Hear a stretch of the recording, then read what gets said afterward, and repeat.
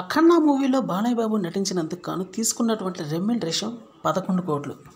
అయితే ఇప్పుడు గోపీచంద్ మల్లేనే డైరెక్షన్లో వస్తున్నటువంటి ఎన్బికే వన్ జీరో సెవెన్కి సంబంధించి రెమ్యునరేషన్ ఎంత తీసుకుంటున్నాడు అన్నటువంటి టాపిక్ ఒకటి ప్రస్తుతానికి హల్చల్ చేస్తుంది. అఖండ మూవీతో బ్లాక్ బస్టర్ హిట్ అయితే కొట్టాడు. ఆ విషయం తెలిసిందే. అయితే అటువంటి సినిమాకి పదకొండు కోట్లు తీసుకున్నాడు కదా.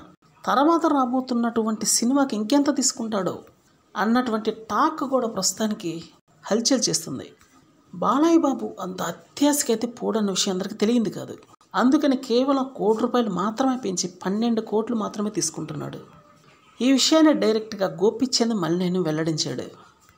అదే వేరే హీరోలు అయితే ఒక బ్లాక్ బస్టర్ పడితే వెంటనే పది కోట్లు పెంచేయటం ఇరవై కోట్లు పెంచేయటం ఇదే నడుస్తుంది. కానీ బాలయ్య బాబు విషయంలో ఆ విధంగా జరగదు.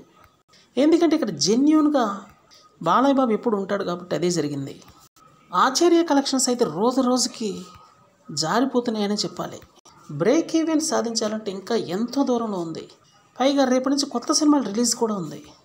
ఈ పరిస్థితుల్లో ఇక ఆచార్య మూవీ మీద ఆశలు పెట్టుకోవటం కలెక్షన్లో రాబడుతుందని అనుకోవటం కూడా వేస్ట్. అనేది చాలామంది అంటున్నారు. మరి ఏం జరుగుతుందో చూడాలి. ఎంత నష్టంతో బయటపడతారో చూడాలి.